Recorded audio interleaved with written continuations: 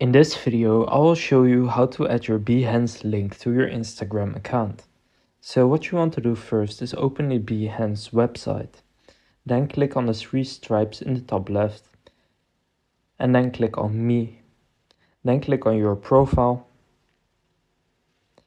Then go ahead and copy this profile link right here. So now you actually have the link to your profile.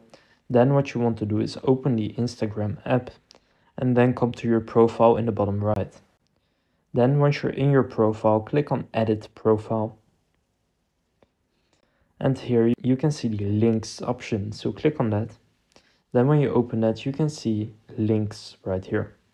So you can add an external link. Then you can paste in the URL that we just copied. And then you can select what you want to name it. So let's name Behance. Then click on done. And now as you can see, you added a link to your bio. So let's go back here. Now when they click on your links, they can see your Behance link right here. So that's how you can add your Behance link to your Instagram account. If this video was helpful, please give it a thumbs up and subscribe to my channel.